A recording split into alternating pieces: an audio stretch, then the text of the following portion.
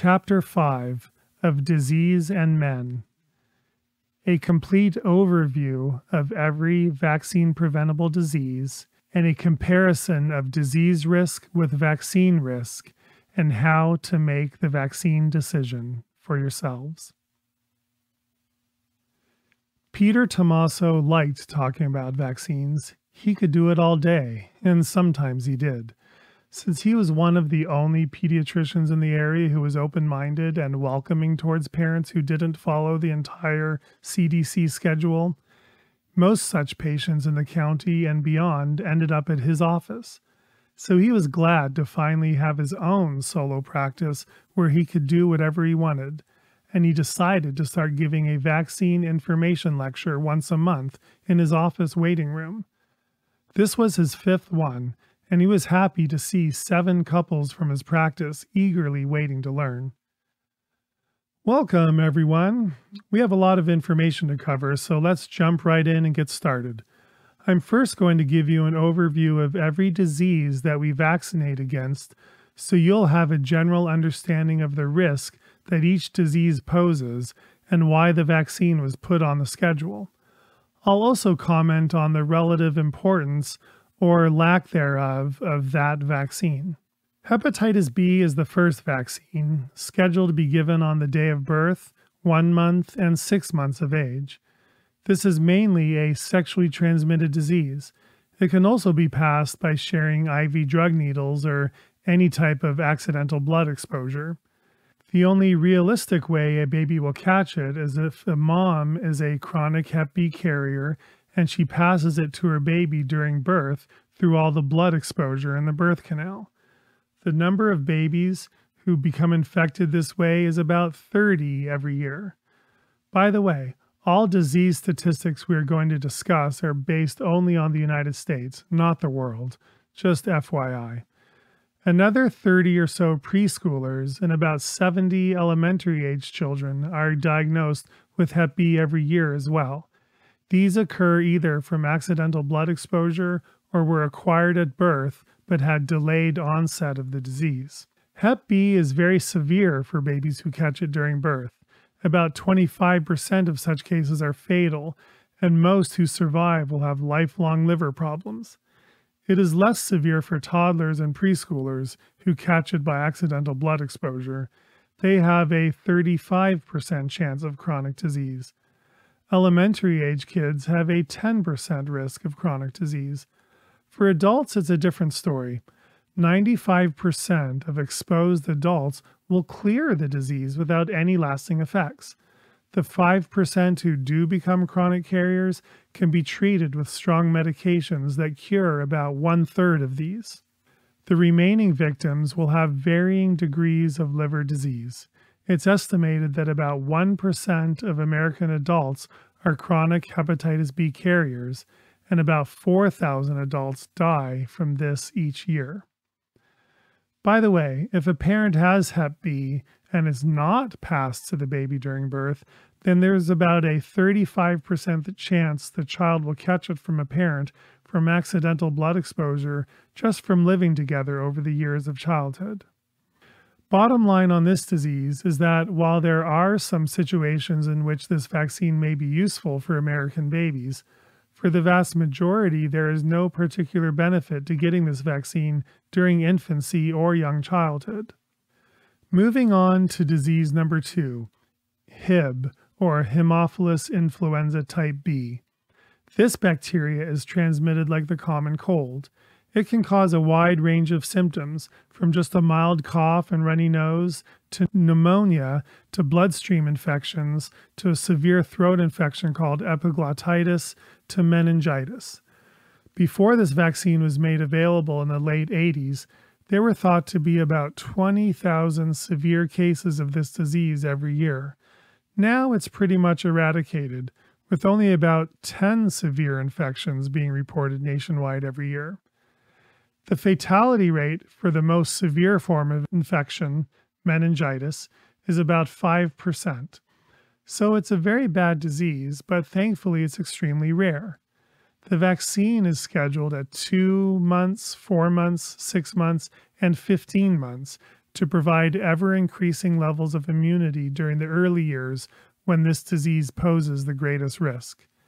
Kids older than two years of age rarely catch HIB, although it can technically occur at any age. Parents who wish to delay vaccines can get their toddler just one HIB dose at 15 months or later, and that one dose gives just as much immunity as if you had done all four along the way. This one dose works much better on the more mature immune system. Bottom line, it's a really bad disease, and thank God it's now so rare. Disease number three pneumococcal disease. This bacteria causes the same conditions as HIB, except it does not cause epiglottitis, and it can be just as mild or just as severe. But when an infant or young child catches a severe case, like meningitis, the fatality rate is higher, about 20%. Like HIB, it's also treatable with antibiotics, but unlike HIB, PC disease is not rare. There are an estimated 2,000 or so cases of severe infections, like meningitis, bloodstream infections, or severe pneumonia, in kids under five each year. And there are probably hundreds of thousands of mild cases each year in kids and adults that don't even get diagnosed and just get better with antibiotics or often even without treatment. The vaccine is given on the same four dose schedule as HIB. Those who don't want vaccines during infancy can just get two doses after age one, or one dose after age two, and get full immunity. The vaccine helps prevent 13 strains of this disease, but there are almost 100 strains out there, so it's still possible to catch PC even if vaccinated. Bottom line, most cases are mild, but severe cases can happen, and this is not rare. The fourth disease is diphtheria. This disease has been eradicated from the US, so there's really no risk for American babies now. But it was a horrible disease way back when. It causes a severe throat infection that makes it difficult to breathe. It's transmitted like a cold, there is treatment available if someone does happen to catch it. The fifth disease is tetanus. You all know what tetanus is. Fortunately, it's rare. Each year in the US, there are about one baby or young child diagnosed with tetanus, about five teenagers, and about 50 adults nationwide. About 10% who develop the neurological symptoms of tetanus will die if you've never had a tetanus shot, and if you get a very serious dirty wound, not just a simple clean cut that needs a few stitches, something really deep and dirty, getting what's called a TIG shot, tetanus immune globulin, which is different than the vaccine, can neutralize tetanus germs so you don't come down with it. Getting the first dose of just the regular vaccine doesn't really help at the time of injury unless you've already had at least one prior vaccine dose. Bottom line on tetanus it's just not a disease of infancy, and it is so rare in children. It's really bad when it does happen, but the chance of it happening is extremely small, and there is a preventive treatment if your baby or child gets injured but doesn't yet have the vaccine. Plus, thorough wound cleansing virtually eliminates the chance of tetanus, even in a high risk wound. It's not like every unvaccinated person who gets impaled by a dirty, rusty spike will get tetanus. Disease number six is whooping cough, also known as pertussis. This vaccine is mixed with diphtheria and tetanus vaccines as the DTaP vaccine. It's given at 2, 4, and 6 months, then again at 18 months, 5 years, and 12 years of age. Adults can also get one dose as a booster. You can't get just a plain whooping cough vaccine, it only comes with tetanus and diphtheria. Whooping cough is very severe if a young infant catches it. About 20 infants die each year from this disease, and virtually all of these are three months and younger. It is almost unheard of for an older infant or child to die from this disease. About 1 in 200 reported newborn cases are fatal. The germ infects the throat and upper lungs and causes extremely severe coughing spells. It can be treated with antibiotics only if the disease is recognized early and antibiotics are started within several days of the onset of the severe cough. Bottom line on the DTAP vaccine is that honestly, babies don't need tetanus and diphtheria shots. But also honestly, whooping cough is a bad disease to catch in the first few months of life. And it's no fun for older babies and kids with weeks or even a few months of severe coughing fits. But there's little to no risk of dying from it once your baby is about four months and older. This vaccine is offered to pregnant women in order to pass some immunity to a baby through the placenta in hopes that the baby will have some immunity during the first two months of life before he has his own shots. Research has not yet proven that this transplacental immunity works well, so it's just a theoretical benefit. Due to a lack of safety research, I don't recommend any vaccines during pregnancy, by the way. I want to say that there is a lot more that could be said about this vaccine and all the ins and outs of whether or not to get it. This is just a brief introduction to the diseases. We'll spend more on this shot later. Okay, so is your head spinning yet? Mine too. To briefly recap, we've discussed hepatitis B, tetanus, and diphtheria, which are all very bad diseases but pose little to no risk to babies. And we've talked about Hib and PC meningitis and whooping cough, which do pose some risk to babies. Now let's push on for a bit more and then we'll take a break. Polio this disease has been eradicated from the United States for over 35 years now. No one has caught the disease in the US in all this time. We still give the shot at 2, 4, 6, and 18 months, with a booster at 5 years, in order to give people immunity in case we ever have an outbreak. But again, this hasn't happened in over 35 years. We used to give people the oral polio vaccine which worked much better and makes people pretty much immune to the disease. But about eight American children were being paralyzed every year from this live oral vaccine. So in the late 90s, we switched to the injected vaccine to avoid the paralysis reactions. This injected vaccine, by the way, doesn't make us immune.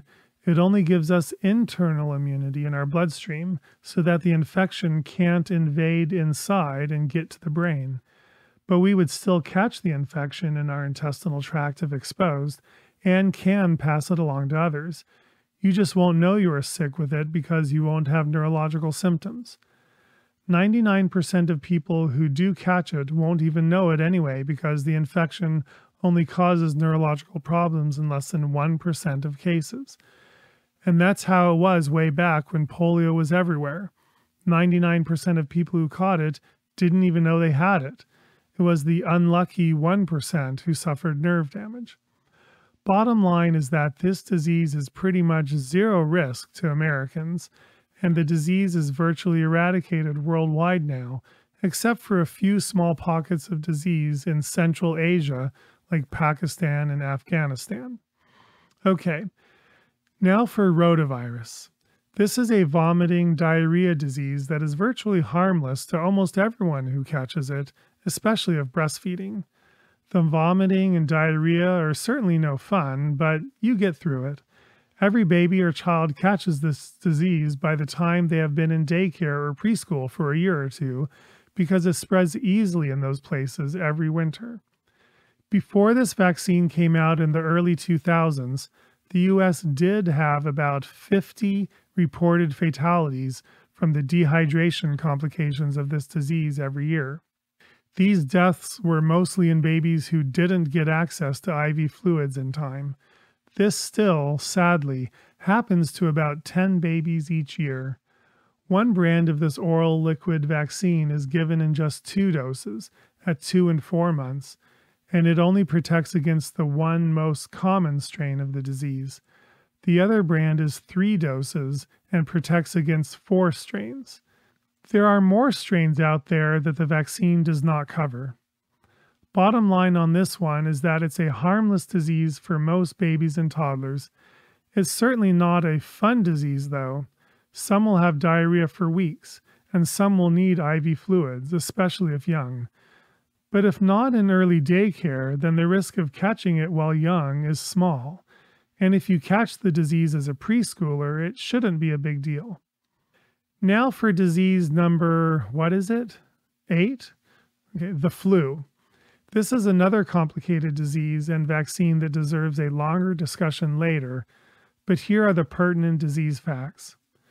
Of course, most cases are ultimately harmless, even for babies.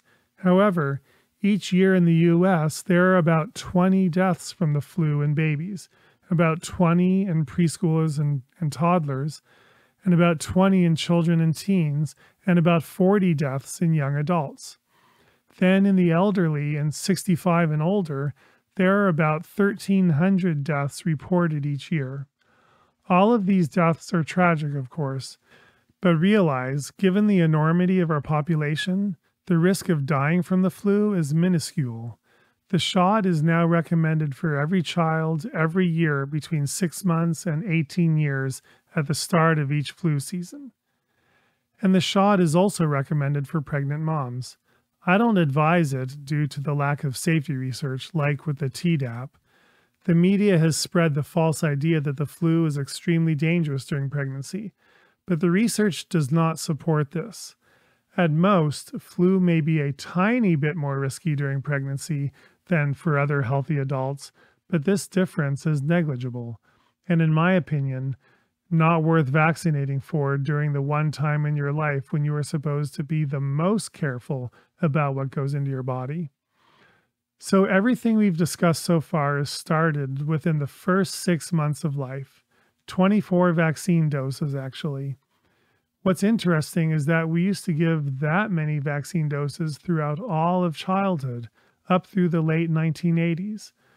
What we give now, grouped into the first six months of life, is quite an escalation from the old days. Now, on to some of the later shots. MMR vaccine is for measles, mumps, and rubella. This live virus vaccine is given at one and five years of age. The rates of measles infection have varied between 55 cases each year to as many as 600. Children don't die from measles in a modern, healthy nation like ours. The only childhood fatality from measles in recent decades was back in 2003. The fatality rate for measles is about 1 in 10,000 cases, although there's some debate over that that we will discuss later. It's very contagious and easily spread like the common cold. It's certainly no fun to go through, but it's not the deadly disease that the media tries to portray during the small outbreaks that we have. Mumps is another mostly harmless disease. It causes sore throat, fever, and swollen cheeks. It makes you look like a chipmunk for a week or so. We see between 200 and 6,000 cases each year. It's not nearly as contagious as measles, so it doesn't easily spread. Mumps isn't fatal, but very rarely it can cause sterility if an adult catches it. Rubella is the R in MMR vaccine. It's been pretty much eradicated from the US. It's a harmless virus that causes fever and a rash. The reason we vaccinate against it is that if a pregnant mom catches rubella, the virus can cause birth defects. So we've eliminated the disease from our population so that pregnant moms and their babies don't have this risk. Each year, however, there are one or two or three babies born with a rubella like birth defect. So the risk isn't zero, but it is very, very small. There is no treatment for rubella. Oh, yeah, that reminds me treatment. I told you earlier which diseases can be treated. Knowing that a disease does have a treatment makes you feel a little less helpless. Rotavirus does not have a specific antiviral treatment. The flu does. Mumps and rubella don't, but measles does. That may surprise you because you rarely hear the news warning people to go out and get their vitamin A preventive treatment during a measles outbreak. But taking high dose vitamin A for two days greatly reduces the chances of suffering a severe case of the disease. It doesn't stop you from catching measles, but it can make the course milder. And if you are already sick, it can still help. Sorry, forgot to include treatment in the last few, but there it is. Okay, so chickenpox. This is another live virus vaccine given at the same time as MMR, age 1 and 5. In fact, doctors can buy them together so they are in the same shot. I don't do this though because the combo shot has 10 times the amount of chickenpox as the separate vaccine. Much of the vaccine virus dies off when mixed and stored with the MMR viruses, so they have to put in a lot more when they first make it. Plus, the combo vaccine has a much higher rate of seizure reactions, one in 1,250 kids, compared to if you give the two shots in separate injections. But that's vaccine info. Sorry, we are focusing just on diseases right now. Chickenpox is a harmless disease for most kids, the chance of dying from it is about 1 in 65,000 cases. Back when everyone caught it, about 50 people died each year. Now, about 5 Americans die from it each year. There is an antiviral treatment that may reduce the severity of the disease, although it's not recommended for healthy people. This disease is worse if you catch it after puberty, by the way, but it's still manageable and virtually never fatal. Now for our last childhood disease, hepatitis A. This barely deserves mention because it's a completely harmless type of food poisoning if young kids catch it. It occurs as small restaurant based outbreaks. When older kids catch it, like elementary age and up, it's a little tougher, with some vomiting and diarrhea, but not a big deal. If an adult catches Hep A, it can cause several days of vomiting, weeks of diarrhea, and some jaundice from liver inflammation. But no one dies of Hep A unless you already have severe liver disease. San Diego had an outbreak in the homeless population last year, many of whom had alcohol and drug abuse problems, so their livers were already shot. About 20 people died. But this does not happen in healthy people. We vaccinated at one year and 18 months or two years. The timing of that booster is up to each office. The idea is to get some immunity so that kids are not caught up in a restaurant outbreak, but these rarely occur, and when they do, healthy people are not harmed. There is no treatment other than supporting the symptoms. Okay, take a deep breath. That was a lot of info. Yeah, it's second nature to me because I live these facts every day. But how do you, the parent, take all this in and make sense of it all? Oh, by the way, I didn't go over the last two diseases we vaccinate against meningococcal disease and HPV because those are teenage vaccines, and all of you here are making decisions for your babies. So I don't want to confuse you by throwing more facts in that you don't have to think about yet. Anyway, let's take a short break and then we'll jump into the decision making process.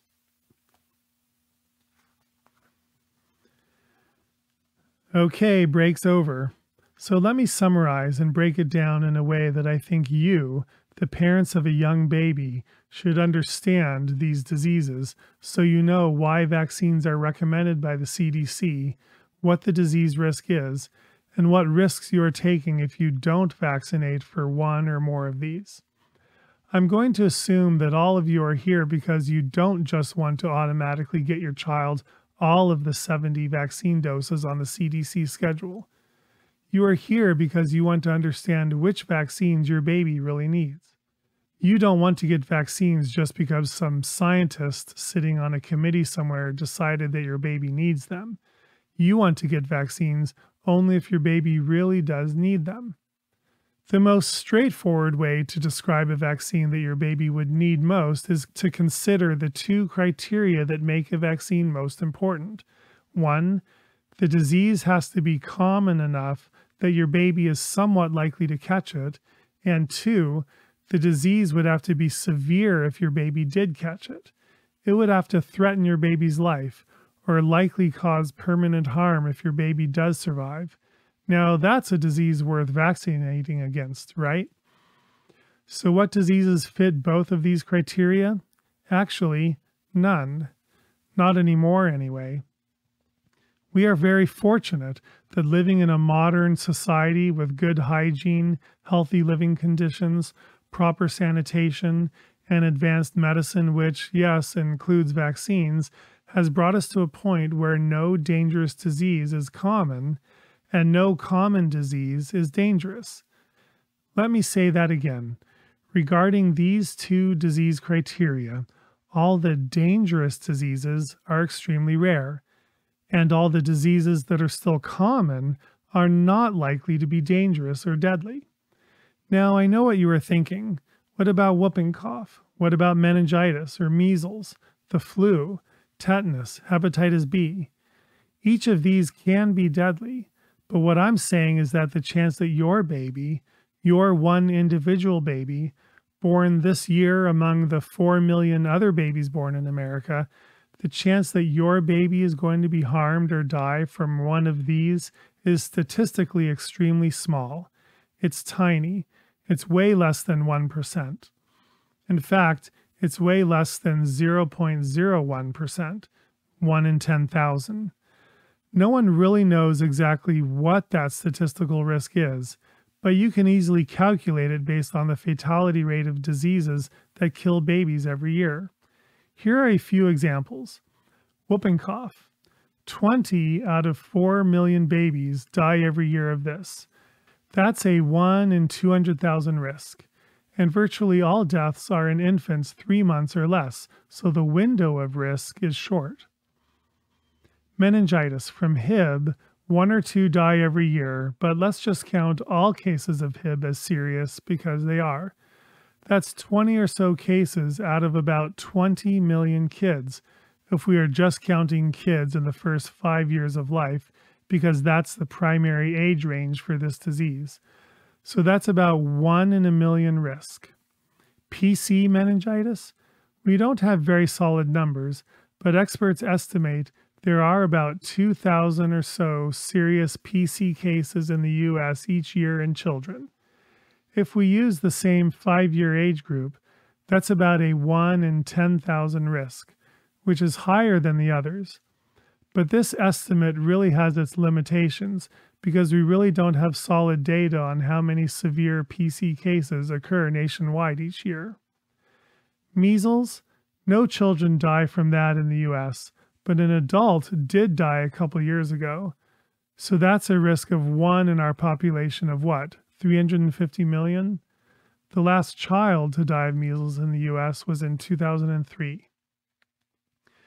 Tetanus, one child case among about 20 million 0 to 5 year olds. Including teens, it's about 5 cases in 72 million kids of 0 to 18, or a risk of about 1 in 14 million. The flu, we have roughly 100 fatalities in our group of kids of 0 to 18 years, so that's a risk of 1 in 720,000. You can do the math on any disease, and you will see that the statistical danger to your one little baby is tiny. So if you choose to not vaccinate, what risk are you taking? The highest risk I see is that 1 in 10,000 risk of pneumococcal disease. All the other risks are lower. Please realize that I'm not saying you should not vaccinate. Many of my patients choose some vaccines. But what I want you to understand is that the disease danger is relatively small, and the decision to not vaccinate is not a dangerous one. It's all about understanding the disease risk, comparing it to the vaccine risks, and deciding which risks you are more comfortable with as a parent. Now, let me tell you what I've seen among my patients who don't vaccinate over these 30 years that I've been a pediatrician. In other words, if you don't vaccinate, what will your baby likely catch, and what will that be like? First, of course, is the flu. I'm not going to waste any time on that. Virtually all cases pass without harm, as I said before, but you can't come crying to me if your baby is pretty sick, wishing you gotten the flu shot that year. Be ready to go through a few flus during childhood. Plus, the flu shot doesn't work very well. Last year it was only about 10% effective. Some years it's as high as 60%. Next in commonality comes rotavirus, but we'll skip that because it's virtually always harmless. Next is whooping cough. It's pretty common, as I said. Now, as long as your baby does not catch it in the first few months of life, he or she will be fine. But your older baby or child might catch it because it's everywhere, and he might be stuck with a very tough cough for two or three months. It's no fun, and it is somewhat likely to happen. I see at least one case every month. If you identify it early and get on early antibiotics, the course may be relatively short. Plus, there's a very high dose of vitamin C protocol that you can find online that may work surprisingly well for whooping cough. Consider following that protocol if your child does catch it. Then there's PC disease, pneumococcal. I've had to put two kids in the hospital with PC pneumonia, a couple with bloodstream infections, and one with meningitis. I've seen one Hib meningitis too. One parent said, I had no idea my child could catch pneumonia like this. I wish I'd vaccinated. Even though I do warn parents, many assume it won't happen to their child. It can, and it does. Your child might catch chickenpox, so you have to accept that he or she may go through that. The fatality rate for it is, again, only about 1 in 65,000 cases. I will also say that in my 30 years of pediatrics, not a single patient has ever been permanently harmed by any of these diseases, and I probably have the lowest vaccination rates of all peds in the state. No one has died and no one has suffered a severe complication. I've seen a few complications that were moderate, like some hearing loss from meningitis and some minor nerve complications from chickenpox, which was unfortunate these parents may wish they had chosen the vaccine, but it's easy to say that after the fact. Am I just lucky, or are the diseases just so unlikely to be dangerous today? You ask an ICU doctor or an infectious disease specialist, they'll say something very different. They've seen the kids die because they're the ones who care for all the complicated, serious cases. But in the life of a regular private practice pediatrician, I just haven't seen it. Maybe that makes me less proactive about pushing vaccines, but I try to not be too casual about the diseases. I just present all the facts so you can make an educated decision.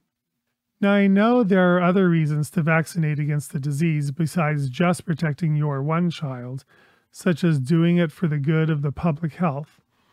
We'll discuss this in more detail later, but the reality is that very few vaccines prevent the spread of a disease. Many just protect an individual from feeling sick and reduce the severity of the disease for only that individual. But a vaccinated person will still catch the germ and spread it to others. This is especially true of whooping cough. So, this public health argument is not valid for most shots. For the few shots that do help reduce the spread of a disease, you have to decide if you are willing to put your baby's health at risk from the vaccine side effects by doing vaccines you think your baby doesn't really need so that you can help protect others. Is that your responsibility?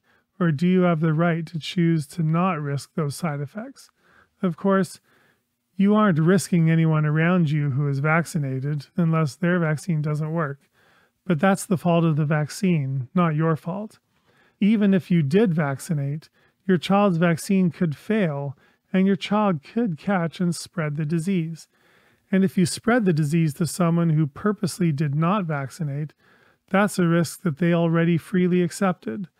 So it's my opinion that you, as your baby's doctor, do have the right to opt out of a vaccine that you decide your baby doesn't need, or you decide the potential side effects are not worth the disease protection. This brings me to a side point. Do vaccines even work? I've talked a lot about why we vaccinate and how these vaccines can prevent disease. You may have read that some people claim vaccines don't even work, so why are we even talking about doing them? Well, I believe they do work. Some work better than others, some don't work very well at all. The way I like to explain this is to understand how each vaccine works so you know what gains you can expect by getting it. Some totally prevent the disease, but some allow you to catch the disease and spread it to others, but just not feel as sick. It's the second group that people will point to and say, Ha, the vaccine didn't work. Well, yes, it does, but it's not expected to prevent infection. It's just expected to prevent disease complications, so you are less likely to be harmed by the disease. So it will work in that way, it just won't work the way you thought it should. I will say, however, that there's a misconception in the media and the public, and among some doctors who are not educated about vaccines, that all vaccines completely prevent infection and prevent the spread. These people are wrong, and the harm that comes from this misconception is that they then blame people who don't vaccinate for spreading the disease. They don't realize that many of these vaccines don't prevent the spread. So, which is which? And how do you factor these ideas into your decision? Don't worry, we'll come to that later. But in regard to your social responsibility for the few vaccines that do reduce disease spread, it's worth mentioning that one reason we do these shots is to protect the babies who are too young to be vaccinated yet. Measles and chickenpox are two such diseases because we don't give shots for those until age one. The media really shines a spotlight whenever that happens and casts blame on unvaccinated kids. That's why you have to be very responsible if you don't vaccinate against something that is very contagious. Don't sit in your doctor's waiting room with a fever and a rash or huge, severe coughing fits, for God's sake. Be smart. If your child is sick, don't go out. And that's true whether you are vaccinated or not. We all share that duty. But one thing I do find ironic in regard to the MMR and chickenpox vaccines and vulnerable babies less than one year old is this. Back when everyone caught measles, mumps, rubella, and chickenpox when they were kids, and the diseases were mostly harmless, they developed lifetime immunity. So all moms were immune and their babies were born immune and were therefore not vulnerable during the first year of life when the diseases can be more serious. Now that we vaccinate, the moms growing up in this generation don't catch the diseases. They have no natural immunity. Their childhood vaccines wear off and they don't pass much immunity to their babies. It's really our public health policy of vaccination that has created these vulnerable infants.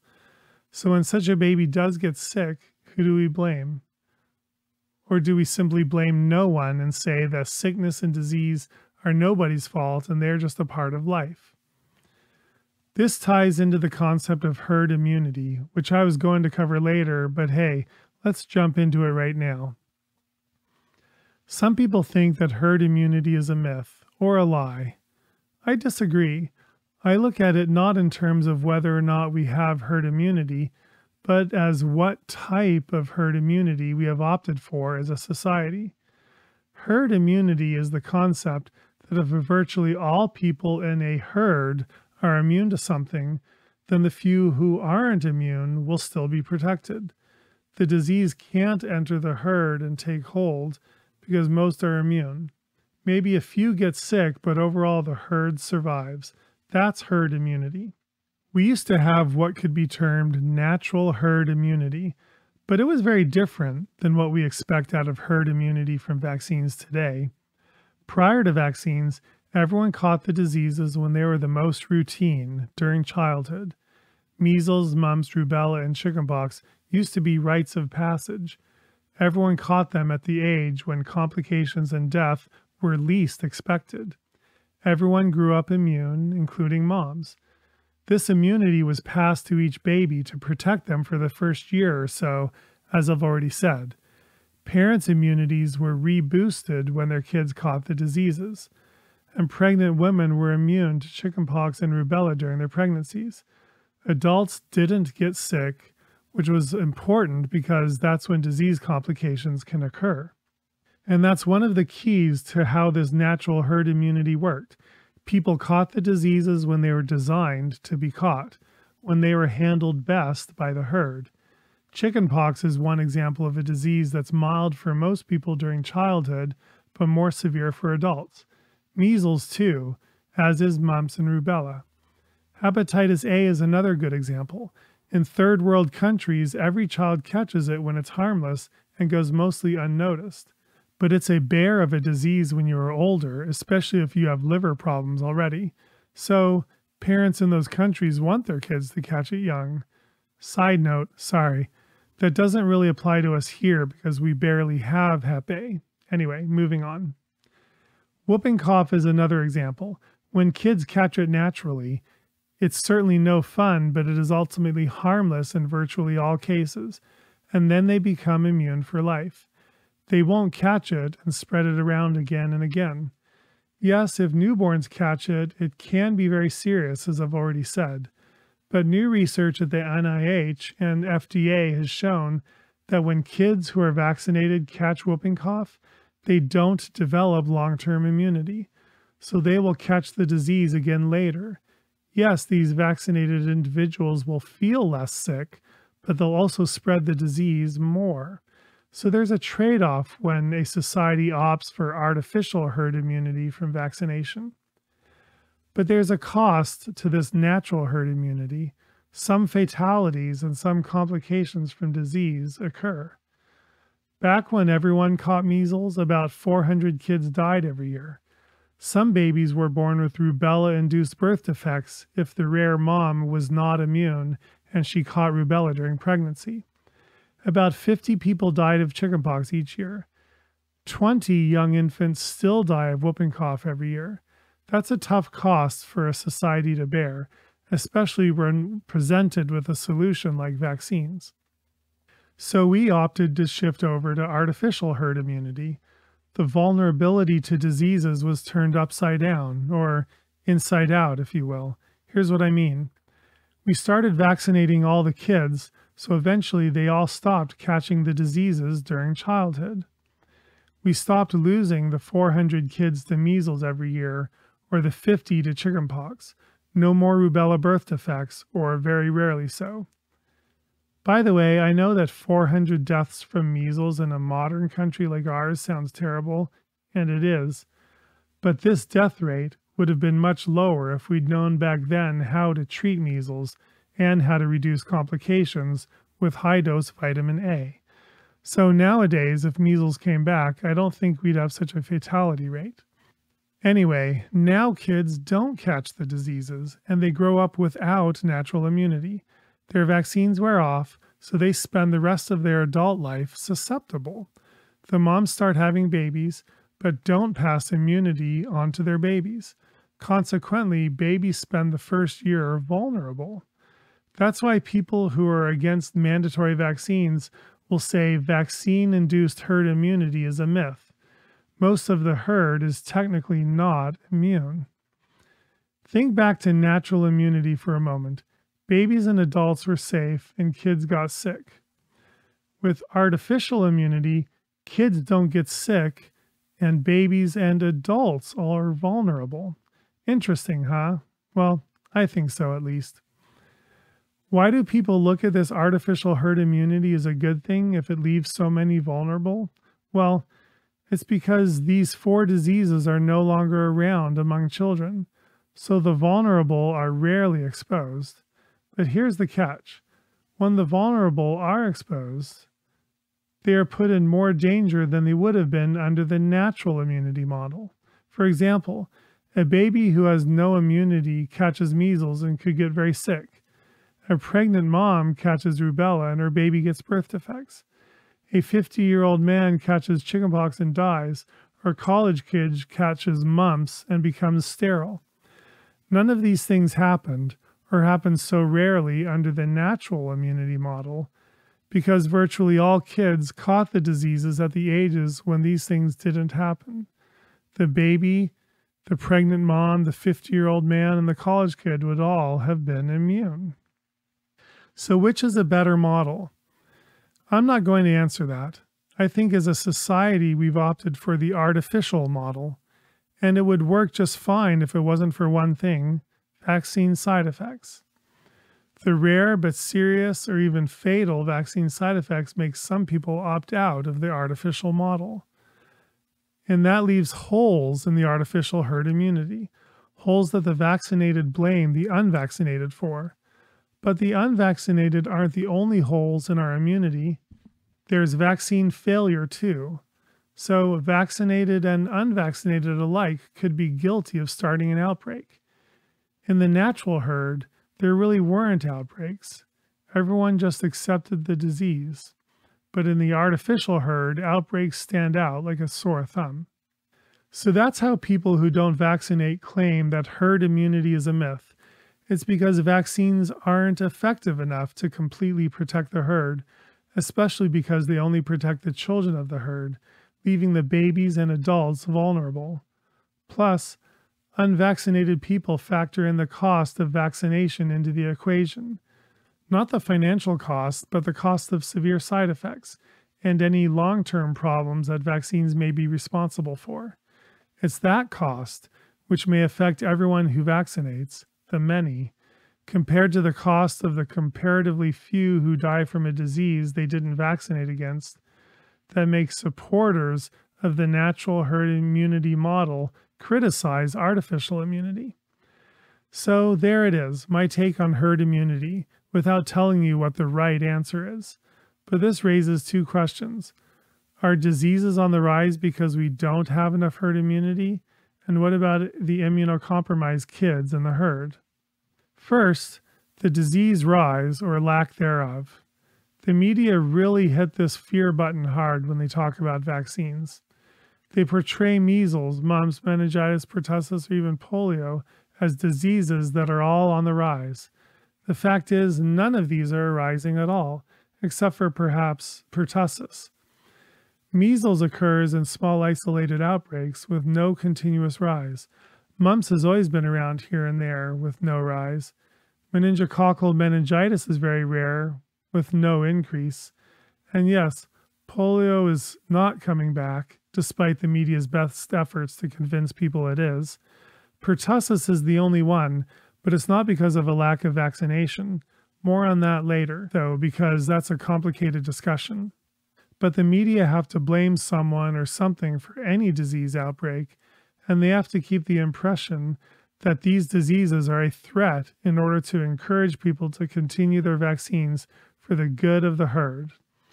But the reality is that we are in the same place with diseases as we've always been since we reduced or eliminated them in the 80s and 90s. And at this point, the fact that some families opt out of vaccines isn't changing that at all. We also hear a lot about protecting the immunocompromised kids. That's another aspect of herd immunity. They say we need everyone in the herd to cooperate with vaccination in order to protect the immunocompromised. If your unvaccinated child spread a disease to a child who is immunocompromised, that can be very serious. But this can also happen when a vaccine fails and a vaccinated person spreads a disease. Even the live virus vaccine germs themselves can make immunocompromised kids very sick. But no one blames people who comply with vaccination, and they never blame a vaccine when it fails. They only blame the unvaccinated. Here's how I consider this issue. First, kids who are severely immunocompromised aren't even in school or out in public much because they could die of any disease, not just the few that are vaccine preventable and still common. So there's little chance your child would infect someone who is immunocompromised. Plus, they are way more likely to catch something dangerous that we don't vaccinate against. Also, immunocompromised kids have had virtually all of their vaccines already anyway. So they are protected because previously given vaccines still work, even if you become mild to moderately immunocompromised later. Under the natural herd immunity model, these kids would have caught the childhood diseases when younger and would then be immune during their immunocompromised days. So one could blame the artificial herd immunity model for any vulnerability they have now. The immunocompromised are indeed an issue, but I don't like to see them used as pawns in a game to mandate vaccines. Then there's the opposite side of that equation the vaccine compromised kids who have suffered severe reactions and are permanently disabled. Don't they deserve some consideration as well? Don't they have rights? And doesn't it matter that if you vaccinate, your child could become one of the vaccine compromised? Don't you have the right in a society to not choose that risk? Are these kids less important than the immunocompromised? We see a child with leukemia at school and our heart goes out to them. We see a mentally and physically disabled kid in a wheelchair from a severe vaccine injury and we ignore them. They don't deserve that. I feel like we as a society should work together to keep all kids safe and healthy while also accepting our differences.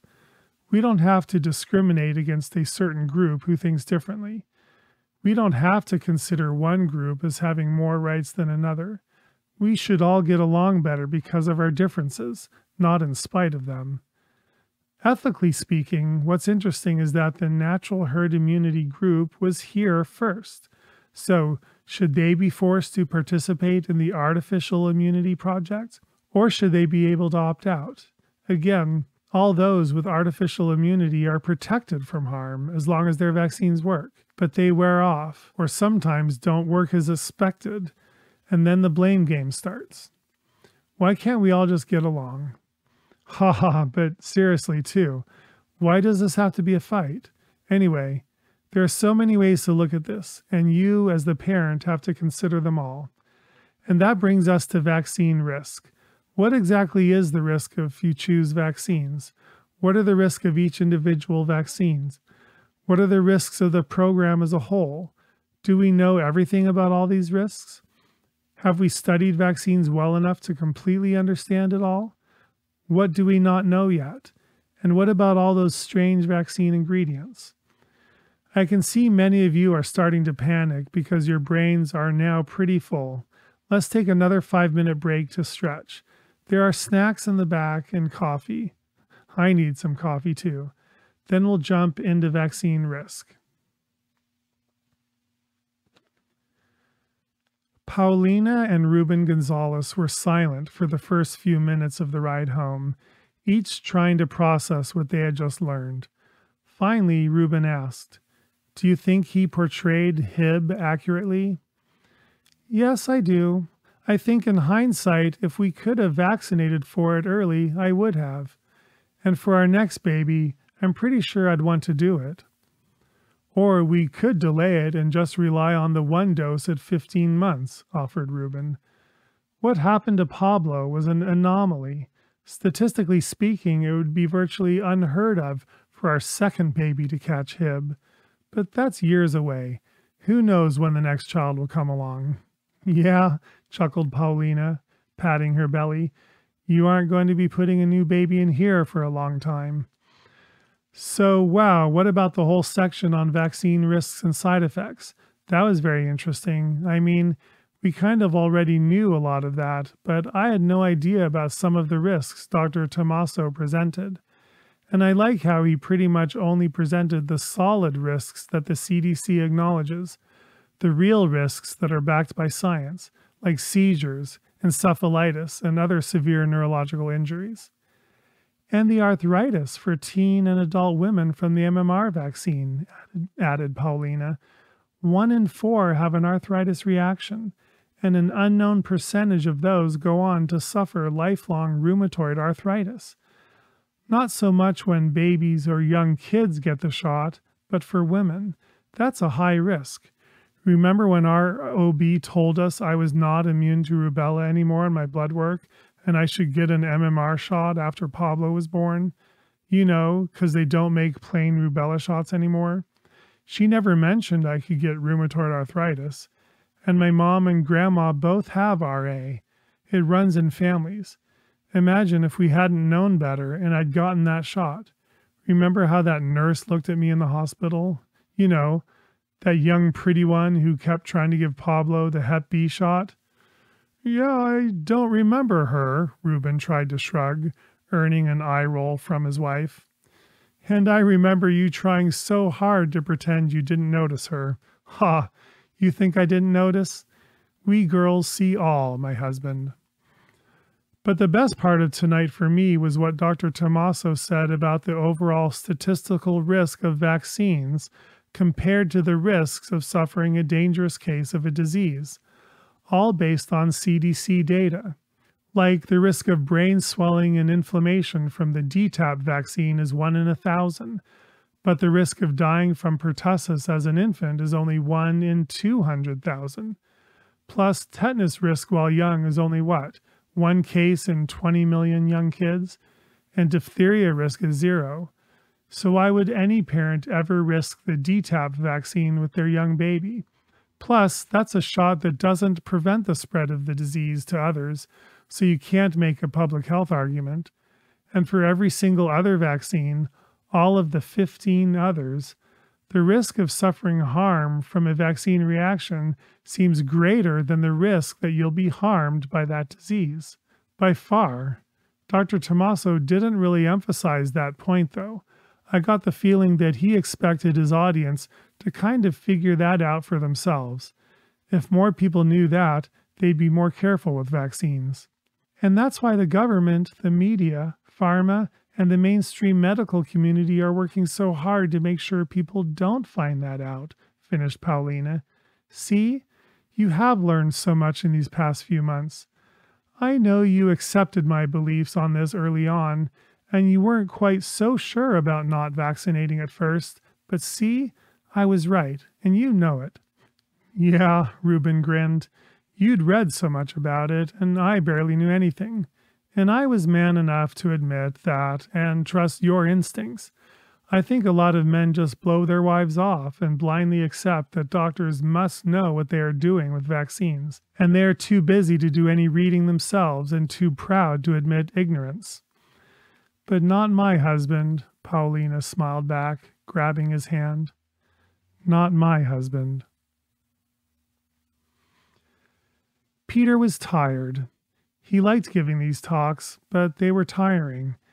Even after he'd put all this into a book form and even shot a video version, parents still wanted to hear it live, to talk it through person to person, the human connection. But he also knew he couldn't keep giving these talks every month for the rest of his life. There has to be a better way to present this information live to these patients, a way that doesn't just involve me something that could be presented to parents all over the country. No, all over the world. Peter would put a lot of thought into this idea in the months to come. Oh, wait, darn it. I totally skipped talking about vaccine ingredients tonight. He made a mental note to email the attendees his one pager on that. And as tired as he was tonight, he was kind of glad he'd forgotten. Ingredients are the most boring part of the talk. I have to figure out a way to spice that part up.